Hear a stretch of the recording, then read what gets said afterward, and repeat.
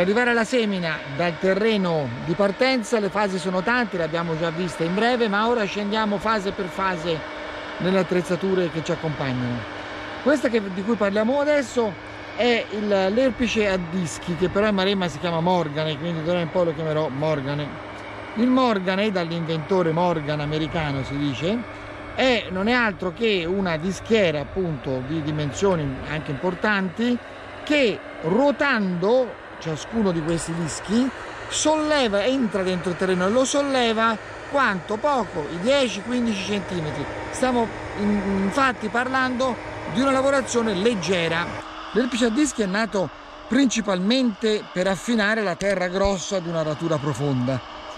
Per fortuna si evita ora di fare rature profonde tirando fuori banconi che poi richiedono energia per essere distrutti. Si cerca sempre di lavorare con situazioni di tempera, terreno in tempera e di attrezzature che non generano questi banconi. Quindi l'utilizzo del dopo aratura c'è ancora, ma non è più il principale. Il principale dell'erpico ehm, a dischi del Morgane è quello di eh, lavorare sulla cotica erbosa, cioè da un terreno dove c'è stato un ricaccio, per esempio, di semi eh, naturali o della cultura precedente, e quindi dove qualsiasi attrezzo entra male perché il terreno si asciuga male perché c'è l'erba, entrando con l'erpice a dischi l'erpice non ha problemi, taglia questa cotica e la fa un piccolo rovesciamento, si vede qui intorno il terreno appena mosso dal morgane, dopodiché saremo quasi pronti per entrare con la fase finale che si chiama erpico rotante o coltivatore a molti denti, ma ci piace aspettare qualche giorno, un giorno, due, secondo il vento. Si dice la terra deve rifiorire. Dove bagnata ha un colore marrone scuro, dove, dove invece si sta asciugando e sta rifiorendo ha un marrone chiaro, vedete? Qui ha perso la sua umidità. Allora, quando è rifiorita la terra, entrando con l'erpico rotante, si mescola la parte più asciutta con la parte più umida e si crea la situazione migliore per la posa del seme. Io vado matto per il Morgane perché è un attrezzo semplice, semplice, semplice e richiede poca energia, solo quella di traino. Cioè non è un attrezzo collegato anche alla presa di forza del trattore che implica un doppio sforzo d'avanzamento più il, il, movimento forzato dalla presa di forza. Qui la, è la dinamica della velocità del disco che fa il suo lavoro e quindi siamo veramente a un livello di semplicità. Mi piacciono anche morgani leggeri con trattori leggeri per cercare di pestare il terreno meno possibile. Siamo prima della semina eturnale, se uno va a pestare il terreno poi ce lo ritroviamo d'inverno quel terreno asfittico.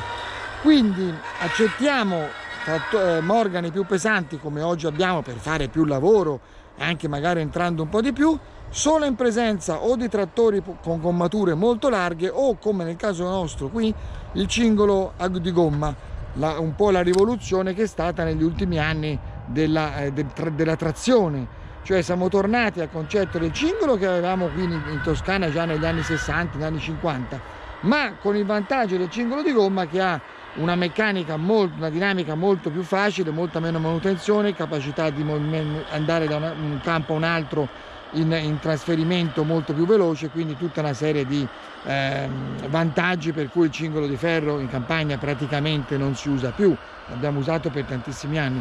Però il vantaggio del cingolo e il suo bello è la bassa compattazione, cioè la bassa unità di peso, carico di peso sulla unità di superficie. Questo è quello che conta, bisogna essere bassi, però allo stesso tempo bisogna avere la forza di tirare in mezzo, perché io quanto posso tirare un mezzo? Solo quanto il mio peso riesce a trasferirsi al terreno, non un chilo di più, purtroppo. Quindi più peso metto al terreno, più peso è la macchina, meglio è, ma meno unità per unità di superficie peso ci deve essere per compattare meno. Quindi va bene anche grandi trattori, ma grandissime ruote o cingoli. Ma insomma questa cosa del cingolo di gomma che è tornato di moda quando abbiamo vissuto noi in Toscana Forse nell'agricoltura italiana è stata una delle prime a avere i trattori a cingoli proprio in maniera diffusa, la Same, la Fiat, cioè marche italiane, la John Deere. Quando mai ha costruito un trattore a cingoli di ferro la John Deere? Perché nel mondo i terreni pesanti, come abbiamo noi, per, fortuna del mondo, non sono poi così tanti. È stata l'ostinazione nostra, soprattutto nel centro-sud Italia, di voler lavorare più fondo e aver bisogno di una capacità di traino maggiore, pestando meno. Ecco il cingolo di ferro. Ma il cingolo di ferro non è, un, non è un trattore versatile, è un trattore che va a fare solo e esclusivamente delle operazioni culturali in presemina, non può trainare rimorchi, non può andare su strada, non può avere una forca per, per svaccinare o per muovere le presse. Voi capite bene che ammortizzare oggi un cingolo, un trattore a cingoli è molto difficile. Ecco che a volte c'è bisogno di un controtersista che ha trattori a cingoli molto grandi e così eh, si riesce a ammortizzare su tanti ettari. L'ultimissima moda sono i cingoli messi sulle quattro ruote motrici, praticamente sono quattro cingoli, due anteriori e due posteriori. Voi sapete che la sterzatura nel cingolo avviene per una frenatura differenziata. Freno il lato sinistro, il lato destro avanza e mi giro verso sinistra, freno il lato destro e vado verso destra. Mentre in un trattore gommato ho lo sterzo e giro le ruote anteriori o posteriori se è un carrello elevatore. Dunque in questa, in questa situazione nuova di cingoli posizionati nelle quattro ruote, quindi ho quattro cingoli, è la situazione dove raggiungo la galleggiabilità massima, tant'è vero che è nata per le risaie, è nata per le torbe qualche anno fa, ora si sta sviluppando anche per altre situazioni più normali e in quel caso la sterzatura avviene attraverso una sommatoria di frenatura e di sterzatura. È una macchina complessa, una macchina che sicuramente non vedremo in Maremma per parecchi anni, ma che in Nord Italia, ovviamente in America, eh, come sempre prima in Canada, ma poi anche ora in Europa sta cominciando a uscire. È molto bello vedere lavorare il Morgane perché eh, nel, proprio la, con la velocità la terra si solleva, si spara per aria, in quel momento si ossigena, si apre, i bacherozzoli vengono fuori e riacquisisce vita quei 15 cm importantissimi del, per la fertilità del terreno. La, il Morgan è una macchina che deve andare veloce, non può andare troppo piano. Naturalmente si parla sempre di velocità eh, di campagna, quindi dai, dai 3 ai 7, 8 km l'ora, che però possono essere tanti, e ha un verso, attenzione, il Morgan ha un verso per cui si gira in genere nel verso giusto, che è il verso in cui la dischiera, quando si aprono le due sezioni della dischiera, tende a fare quel tipo di rotazione senza andare in contrasto con il, lo sforzo dei dischi stessi, ma un giro ogni quadro lo facciamo rovescio per evitare che si riempia la fossa, evidentemente. Poi la fossa noi dobbiamo comunque, la scolina, quella che noi abbiamo, noi abbiamo una baulatura ogni 20-25 metri, a volte 30, dovuto alla sistemazione fondiaria de, della Maremma per la pesantezza dei nostri terreni. Solo chi ha fatto esperienze di drenaggio per, buon drenaggio può permettersi di togliere le scoline, altrimenti la scolina, il campo baulato, ci permette anche con piogge forti di gestire meglio le acque. Bene, questa scolina viene ripulita prima della semina, vedremo sicuramente qualche immagine. Ci piace farvi vedere da vicino un morgane, perché non è così semplice capirlo come fanno questi dischi a rovesciare il terreno.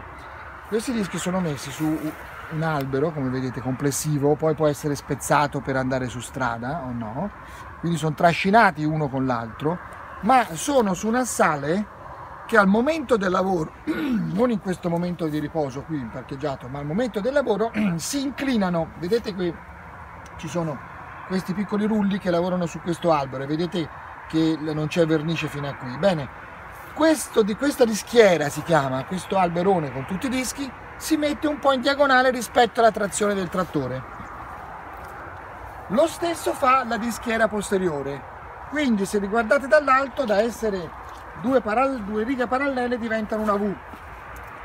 Così facendo nella direzione del trattore il disco incontra la terra leggermente inclinato e quindi prende su e la rovescia.